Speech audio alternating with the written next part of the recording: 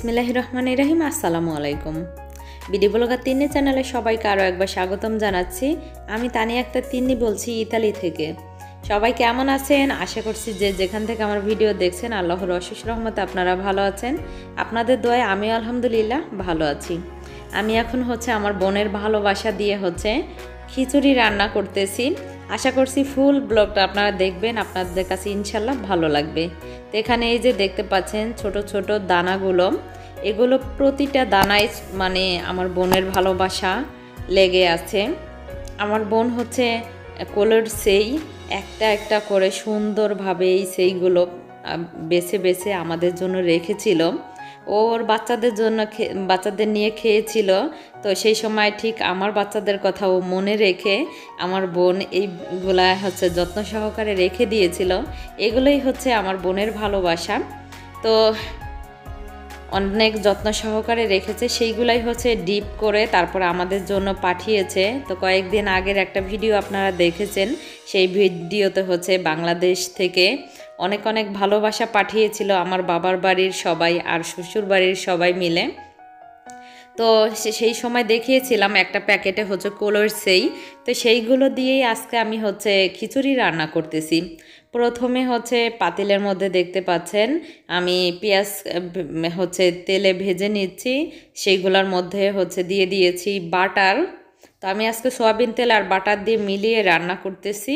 এরপরে হচ্ছে এখানে এই তো আমার হচ্ছে মশলাগুলো কষিয়ে নিচ্ছি। তো বাটার দিয়ে, পেঁয়াজ দিয়ে হচ্ছে এখানে পেঁয়াজগুলো যখন ভাজা হয়ে গিয়েছে, তারপরে আমি অন্যান্য মশলা দিয়ে দিয়েছি, আদা বাটা আর রসুন বাটা। এরপরে এখন হচ্ছে গুঁড়া মশলাগুলো অ্যাড করতেছি। ধনিয়ার গুঁড়া, হলুদের গুঁড়া, জিরার গুঁড়া, তারপর হচ্ছে হলুদ, শুকনা মরিচের গুঁড়া। সব একসাথে দিয়ে মশলায় কষিয়ে মানে সব মশলাগুলো কষিয়ে নিচ্ছি। এরপরে দিয়ে দিচ্ছি আমার বোনের এই যে বিন্দু বিন্দু ভালোবাসাগুলো। তো সবগুলো হচ্ছে মশলা এখন কষিয়ে তারপরে দিয়ে দিব হচ্ছে বাসমতি চাল আর হচ্ছে মসুরির ডাল একসাথে আমি ধুয়ে রেখেছি। এই পর্যায়ে সবাইকে রিকোয়েস্ট করব আমার আজকের হচ্ছে এই ভিডিওটা যদি আপনাদের কাছে কোনো পর্যায়ে ভালো লেগে যায়, তাহলে অবশ্যই লাইক কমেন্টস এবং সাবস্ক্রাইব করতে ভুলবেন না। আর হ্যাঁ আমার ভিডিওটা যদি আপনাদের মনে হয় যে না, আপনাদের কাছের মানুষদের সাথে হচ্ছে শেয়ার করা যায়, তাহলে অবশ্যই শেয়ার করে দিবেন। বাংলাদেশে যারা আছেন, তারা তো হচ্ছে কোলোইড দিনে হচ্ছে কোলোইড সেই দিয়ে অনেক মজা করে খিচুড়ি রান্না করেছেন। আর এই সেইগুলো দিয়ে আরও অন্যান্য ধরনের রেসিপি তৈরি করা যায়। আশা করছি সেগুলো করে আপনারা খেয়েছেন। তো সেই সময় তো আমরা খুব মিস করেছি। আর এখন যেহেতু আমার বাসায় আমি পেয়েছি, আমার বোন পাঠিয়েছে আমাদের জন্য, তো আমি তো এখন রান্না করতেছি। তো সবাই মিলে হচ্ছে মজা করে খাব। তো গতকালকে হচ্ছে কোরবানি ঈদের যে মানে গোস্ত রান্না করেছিলাম, সেগুলো রয়ে গিয়েছিল অনেকগুলো। তো সেই গোছগুলো আমি এগুলোর মধ্যে দিয়ে দিয়েছি। তো দিয়ে তারপরে এই তো সুন্দরভাবে নেড়ে চেড়ে নিচ্ছি। আমার গত ব্লগগুলোতে আপনাদের সুন্দর সুন্দর কমেন্টস তারপরে হচ্ছে আপনাদের সব মানে আপনারা যে আমার অনেক ভাইয়া আপুরা আমার ভিডিওটা দেখেছেন এই জন্য আমার কাছে অনেক বেশি ভালো লেগেছে। তা আমি চেয়েছিলাম যে পরপর এই সিরিয়াল অনুযায়ী ভিডিওগুলো দেওয়ার জন্য।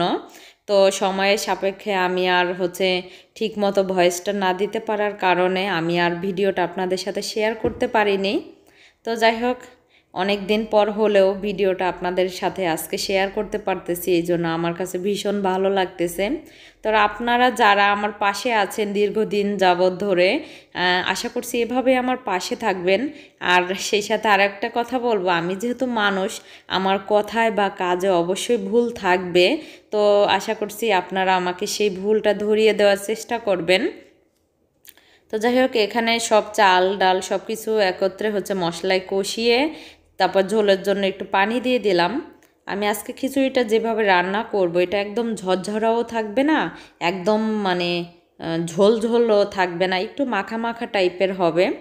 তো যখন পেঁয়াজ ভেজেছিলাম, তো ওই সময় কয়েকটা পেঁয়াজ একটু পুড়ে কালো হয়ে গিয়েছে, সেগুলো বেছে ফেলে দিলাম।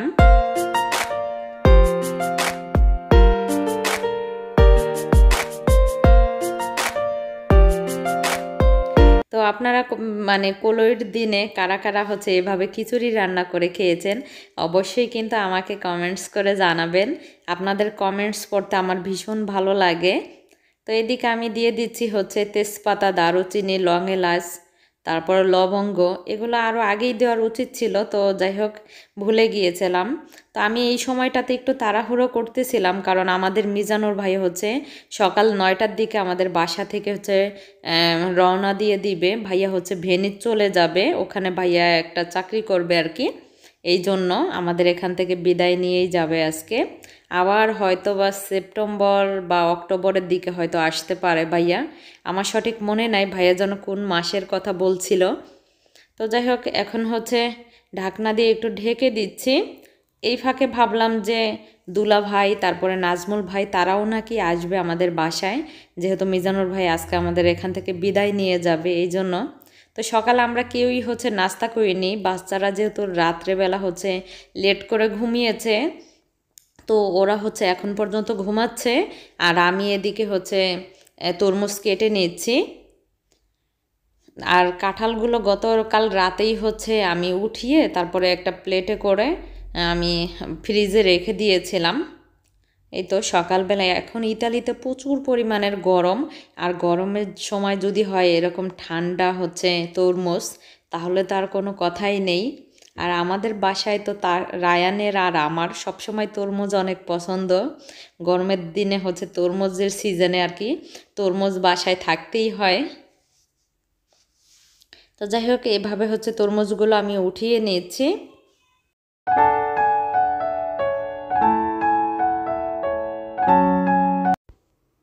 এদিকে তরমুজ কাটাকাটি শেষ, এই পর্যায়ে দেখলাম যে আমার খিচুড়িগুলোতে হচ্ছে বলক চলে এসেছে। তো ঢাকনাটা সরিয়ে আমি একটু নেড়ে চেড়ে দিচ্ছি যেন নিচে না লেগে যায়।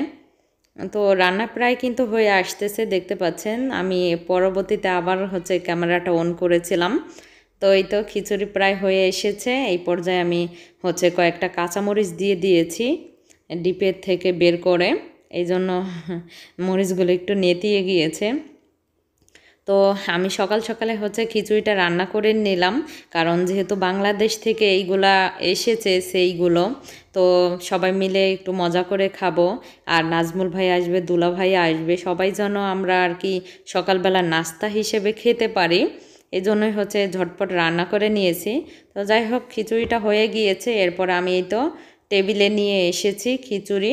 এখন হচ্ছে টেবিলটাকে একটু পরিষ্কার করে নিচ্ছি। আর এই যে দেখতে পাচ্ছেন আমার পছন্দের গাছটা, সে গাছের অবস্থা। তো গাছটা কেমন যেন দিন দিন পাতাগুলো হলুদ হয়ে যাচ্ছে আর ফুলগুলো ঝরে ঝরে পড়তেছে।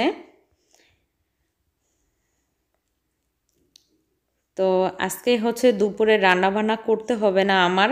তো আমি হচ্ছে গতকালকে যেই খাবার টাবার রান্না করেছিলাম, সেই খাবার কিছুটা রয়ে গিয়েছে। তো এখন হচ্ছে আমরা আর কি সকাল সকালে আর কি আমি তাসমির, রায়ান ওরা ঘুম থেকে ওঠার পর ওদেরকে গোসল করতে পাঠিয়েছি। আর রায়ানকে তো আমার গোসল করিয়ে দিতে হবে। তো রায়ান, এই যে দেখতে পাচ্ছেন, একটা ফুলের কলি ঝরে পড়ে গিয়েছে। এগুলা দেখতে না খুব খারাপ লাগতেছে। গাছটার জন্য খুবই আফসোস হচ্ছে। জানি না কয়দিন বাঁচবে এই গাছটা। তো গাছটা যখন মরে যাবে তখন আমি জানি না নিজেকে কীভাবে সান্ত্বনা দিব। খুব খারাপ লাগতেছে গাছটার দিকে তাকালেই। তো আমার গাছটা হচ্ছে তালহায় টেবিলের কাছে একদিন এসেছিল। তো ও হচ্ছে টান দিয়ে একদম এই যে এই বাস্কেটটার ভিতর থেকে উঠিয়ে ফেলেছিল গাছটা, একদম বের করে ফেলেছিল। এই জন্য গাছটা হচ্ছে একটু আঘাত পেয়েছে। এরপর থেকে দিন দিন এটার খারাপ অবস্থা দেখা দিচ্ছে। তো যাই হোক, এখানে আমার হচ্ছে টেবিলটা পরিষ্কার করা হয়ে গিয়েছে। এক এক করে সব কিছু আমি টেবিলে সাজিয়ে গুছিয়ে নিয়েছি।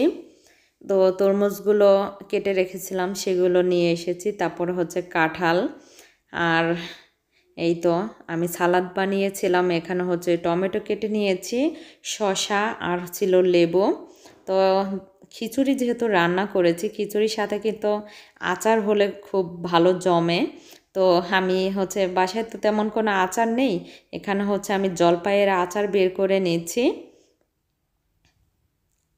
এই জলপাইয়ের আচারগুলো হচ্ছে আমি যখন ঢাকায় যেই বাসায় ছিলাম আমি তো ওই সময় বানিয়ে আমার নিজের হাতে বানিয়েছিলাম। তো সেই আচারগুলোই হচ্ছে মায়া করে করে হচ্ছে একটু একটু করে খাচ্ছি। আমি তো জানি যে এটা শেষ হয়ে গেলে আবার হচ্ছে দেশে থেকে কবে আমার আম্মু বানিয়ে পাঠাবে সেই অপেক্ষায় আমার থাকতে হবে। এই জন্য একটু একটু করে খাচ্ছি। খিচুড়ির কালারটা কিন্তু খুব ভালো এসেছিল, কিন্তু আমি জানি না, আমি যখন কোনো একটা খাবার হচ্ছে ভিডিও শ্যুট করতে যাই, তখন কেন যেন আমার ভিডিওতে না মানে কালারটা সুন্দর দেখা যায় না। তো যাই হোক, এখানে প্লেট, তারপরে গ্লাস সব কিছু সাজিয়ে গুছিয়ে একদম রেডি করে দিয়েছি যেন খাবার সময় কোনো কিছুর কোনো সমস্যা না থাকে, কোনো কিছু যেন বাকি না থাকে। তো এদিকে হচ্ছে কাশ্মীরের পাপাই যে কাচের বয়ম ভর্তি হচ্ছে মরিচ এনেছিল। এগুলো হচ্ছে মরিচের সালাদ। এই মরিচগুলো এখানে রেখে দিলাম যে সালাদের সাথে খাবে। তো মানে খিচুড়ির সাথে খাবে আর কি। তো যাই হোক, সবাই হচ্ছে খাওয়া দাওয়া করে বিদায় নিয়ে চলে গিয়েছে। এরপরে ভাবলাম যে আমরা রাতে যে হচ্ছে ফ্লোরে হচ্ছে ম্যাটেজ বিছিয়ে ঘুমিয়েছিলাম। তো এখন তো বাসায় মেহমান নেই, সবাই চলে গিয়েছে। আবার মেহমান বাসায় কবে আসবে জানি না। বাসায় যদি মেহমান আসে আর একটু কষ্ট করে ঘুমালেও না, অন্যরকম একটা শান্তি লাগে। তো আর মেহমান কিন্তু সবার বাসায় আসে না। মেহমান হচ্ছে আল্লাহ তালার একটা নেয়ামত।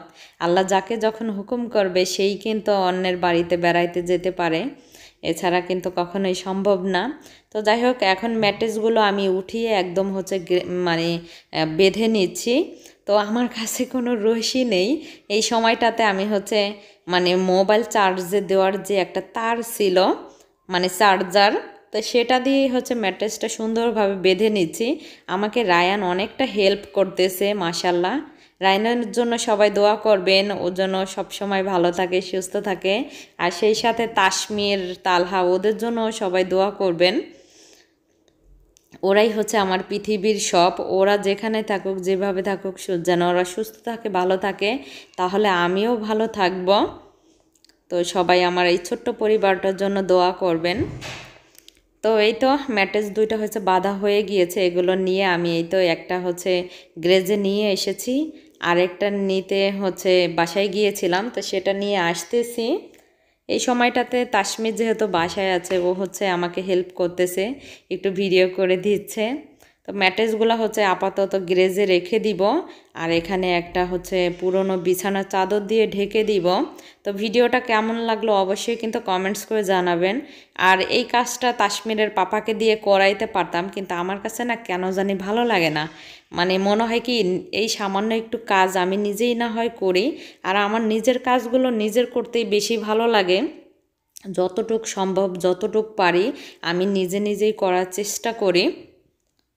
আর তাসমিনের পাপাকে বললে হয়তো সে এনে দিত আমাকে বলতো থাক আজকে রেখে দাও কালকে নিয়ে রাখ মানে। তো আমার তো আজকে ঘর পরিষ্কার করতে হবে ফ্লোর মুছতে হবে এই জন্য আমি নিয়ে রেখে দিলাম এখানে। আল্লাহ বৃষ্টি হইতেছে অনেক। এই বৃষ্টির মধ্যে তাসমিনের পাপা কেমনে আসবে? এমন না ভিজে যাইতেছো তো তুমি। আল্লাহ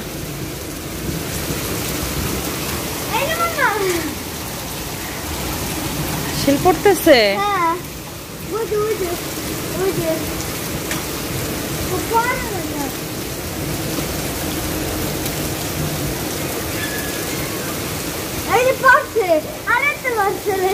অনেক বড় ছিল বললে গেছে হ্যাঁ আরেকটা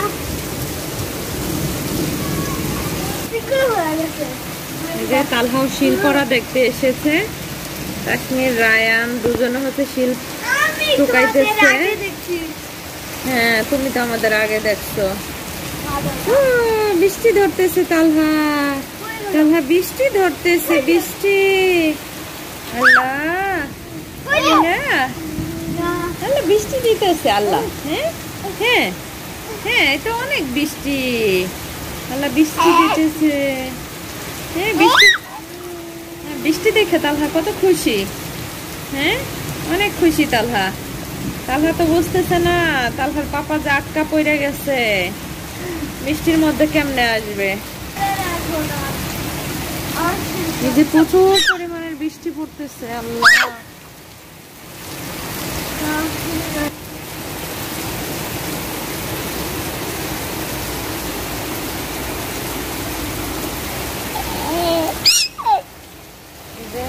গাছের গোড়ায় পানি পড়তেছে বৃষ্টির পানি।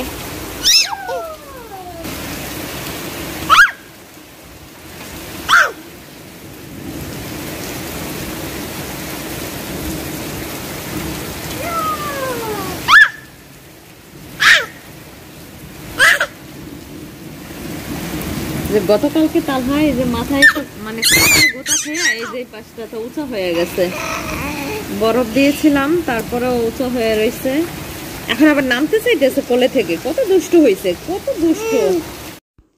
তো বৃষ্টি কিছুক্ষণ পরে হচ্ছে থেমে গিয়েছিল। তো কাশ্মীরের পাপা আর ভিজতে হয়নি। সে যখন বাসায় এসেছে, তো আসার সময় কিছু বাজার সদাই নিয়ে এসেছে।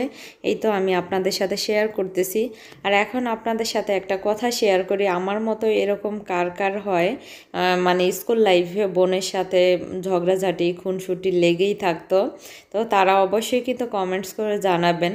আমরা দুই বোন, আমাদের বয়সের ডিফারেন্সটা হয়তো বা দেড় বছর বা দুই বছর মানে এরকমটাই আর কি হবে গ্যাপ আর কি। তো দুই বোনের হচ্ছে স্কুল লাইফে প্রায় সময় ঝগড়াঝাটি বা খুনসুটি লেগেই থাকতো। আমাদের খুনসুটি, ঝগড়াঝাটি লেগে থাকার একটা কারণ ছিল, যে জিনিসটা আমার ভালো লাগতো সেটা আমার বোনের ভালো লাগতো না। যেটা আমার বোনের ভালো লাগতো সেটা আমার ভালো লাগতো না। এই যে, এই ছিল একটা সমস্যা। তো আমার দাদুরা বলতো, এখন দুই বোন, একজন আরেকজনকে মানে সহ্যই করতে পারো না। এমন একটা দিন আসবে তোমাদেরকে হচ্ছে সাত মানে সাত গাঙ্গের ওপার হচ্ছে বিয়ে দিব, যেন একজন আরেকজনকে না দেখতে পারো। তো এখন তো দেখতেছি যে সাত গাং না, সাত সমুদ্র তেরো নদী পাড়ি দিয়ে তারপর হচ্ছে বোনের সাথে দেখা করতে যেতে হবে। আমার বোনকে দেখি না, প্রায় তিন বছরের মতো হয়ে যাচ্ছে। বাবা মাকে দেখি না, তিন বছরের মতো হয়ে যাচ্ছে। প্রবাস জীবনটা যে কত কষ্টের, আসলে আমরা আপনজন ছাড়া যারা প্রবাসে থাকে, একমাত্র তারাই উপলব্ধি করতে পারি। সত্যি আমার বোনকে নিয়ে আমার সেই হারানো দিনের সেই স্মৃতিগুলো খুব মনে পড়তেছিল আজকে, আর অঝরে চোখ দিয়ে পানি পড়তেছিল। মনে হচ্ছিল, ইস, আবার যদি সেই দিনটা ফিরে পেতাম। আপনারা সবাই আমাদের দুই বোনের জন্য দোয়া করবেন। আমার বোন যেখানে থাকুক, ও যেন ওর সংসার জীবনে অনেক সুখে থাকে, ভালো থাকে। আর আমাদের দুই বোনের বিয়ের পরে হচ্ছে দূরত্বটা যেমন বেড়েছে, তেমনি হচ্ছে আমাদের ভালোবাসাটাও অনেক বেশি গভীর হয়েছে। তো আপনারা সবাই দোয়া করবেন, আমাদের দুই বোনের এই ভালোবাসা যেন অনন্তকাল ধরে হচ্ছে বেঁচে থাকে। তো এই তো বাজারগুলো গুছিয়ে নিয়েছি, আজকে অনেক কথা বললাম, আমার কথায় কোনো ভুল ত্রুটি হলে ক্ষমা সুন্দর দৃষ্টিতে দেখবেন। আর এদিকে দেখেন, এই যে ফ্রিজে হচ্ছে আগে প্রায় এক থেকে দেড় কেজির মতোই আর কি, গাজর রয়েছে। এখন আবার কাশ্মীরের পাপা আজকে প্রায় দেড় কেজির মতো গাজর নিয়ে এসেছে। তো আমি ফ্রিজে যখন গাজর বা কোনো সবজি রাখি, তখন হচ্ছে পলিথিনে মুড়িয়ে তারপর রাখার চেষ্টা করি। কারণ পলিথিনে এভাবে মুড়িয়ে রাখলে মানে সবজিগুলো একদম ফ্রেশ থাকে। নয়তো বা হচ্ছে একদম সরাসরি যখন সবজিগুলোতে ফ্রিজের হিট পায়, তখন হচ্ছে কেমন যেন সবজিগুলো নষ্ট হয়ে যাওয়ার চান্স থাকে আর কি।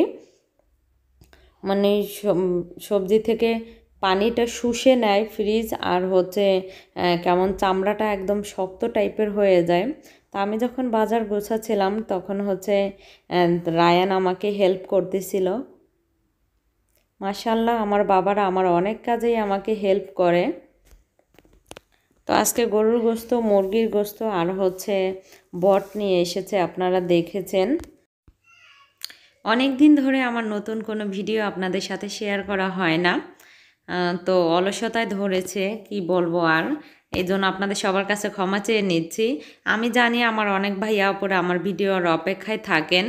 তো এর মধ্যে গতকালকে হচ্ছে আমার একটা আপু মাহবুবা উদ্দিন আইডি থেকে কমেন্টস করেছিল যে, আপু, নতুন ভিডিও কবে দিবেন?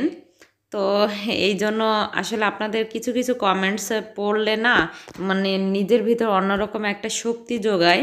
তো তাই ভাবলাম অলসতা কাটিয়ে আজকে একটা ভিডিও আপলোড করাই যায়। তো এই ছিল আজকের ভিডিও সবাই ভালো থাকবেন। এখন থেকে নতুন ভিডিও নিয়ে খুব শীঘ্রই আপনাদের মাঝে ফিরে আসব। সবাই ভালো থাকুন। আল্লাহ হাফিজ। আসসালামু আলাইকুম।